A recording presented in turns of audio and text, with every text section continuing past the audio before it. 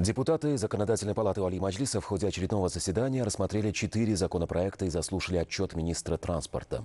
В числе приоритетных – вопрос занятости населения. В частности, одним из проектов закона предусматривается усовершенствование порядка выдачи органами по труду направлений на вакантные рабочие места, а, механизмов выделения субсидий и кредитов. Также рассмотрен документ, предусматривающий смягчение требований для импортеров фитосанитарной продукции. Об этих и других законопроектах узнавала Назира Закирова.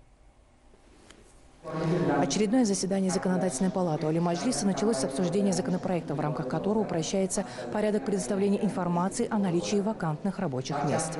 Данным законопроектом будет усовершенствована база по труду и занятости, устранены бюрократические препоны именно по сдаче документов нашими гражданами на трудоустройство и в отделы труда. Еще один примечательный момент, что сегодня тем предпринимателям, которые сегодня создают новые рабочие места, им выделяются а, субсидии из фонда министерств и ведомств. Также стимулируются сегодня иностранные инвесторы, которые создают новые рабочие места. Цифровизация в данной сфере улучшит не только условия труда, подачи документов, сделает открытым и прозрачным данную систему, но и прежде всего сэкономит время и усилия, которые раньше предпринимали наши граждане для того, чтобы трудоустроиться.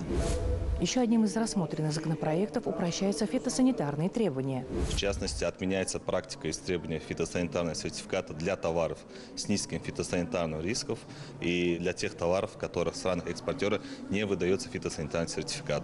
Это, в свою очередь, облегчит для предпринимателей импортные процедуры для ввоза под карантинной продукции в Узбекистан. Следующим законопроектом расширяется круг административных правонарушений, входящих в институт примирения.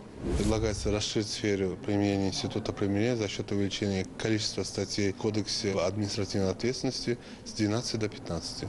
То есть предусматривается декриминализация преступного деяния, связанного с умышленным легким телесным повреждением, не повлекшим к откровению расстройства здоровья или незначительную стойкую утрату трудоспособности. И период этого деяния в категорию административного правонарушения, а не уголовного правонарушения. То есть это послужит расширению сфер института применения по делам административных правонарушений и улучшению вообще криминогенной ситуации в стране.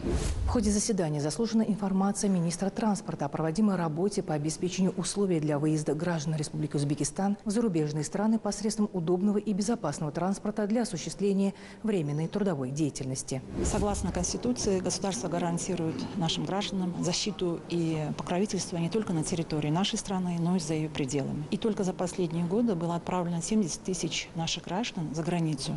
И обеспечена легитимность, условия, а также сопровождающие их автотранспортные и авиаперевозки. В этом отношении были созданы новые условия. И что касается безопасности и легитимности наших граждан за границей. Только за последние два года было подписано более чем с 300 работодателями э, соглашение по трудоустройству наших граждан из 28 э, стран и обеспечено более 146 тысяч рабочих мест. Также нужно отметить, что увеличилась и усовершенствуется база по привлечению автотранспортных средств э, не только наших соотечественников, а также увеличивается привлекательность для иностранных инвесторов. По всем рассмотренным документам были приняты соответствующие решения, после чего заседание Нижней палаты парламента завершило свою работу.